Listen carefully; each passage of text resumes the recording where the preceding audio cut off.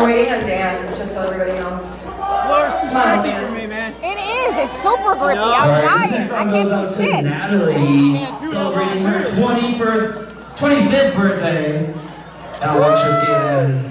Here you go, Natalie. Alright,